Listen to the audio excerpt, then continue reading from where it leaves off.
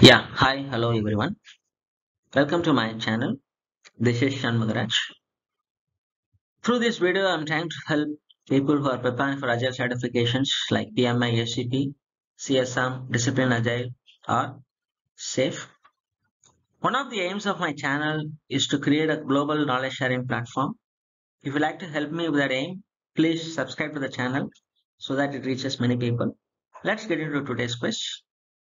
Today's quiz is Mahesh, who has 25 years of experience, is having a difference of opinion with Mohan, who is 10 years of experience, about the testing process of your project. They are approaching you for a solution. You are asking Mohan to accept what Mahesh says. Which technique are you using? The choices are A. Withdrawal, B. Problem solving, C. Forcing, D. Escaping. The answer is C. Forcing. So that's one minute. Hope you guys like this video.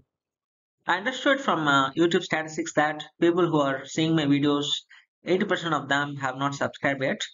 If you're not subscribed, please subscribe so that it reaches many people. So it helps me to reach out many people. See you tomorrow.